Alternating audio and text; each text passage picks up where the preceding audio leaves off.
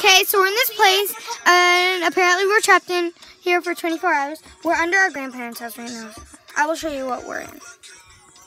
We are in this. Yeah. So I will see you in the morning. Goodbye, everybody. Okay, it's the morning now. Okay, so bye. That's the end of the video. We won. Bye.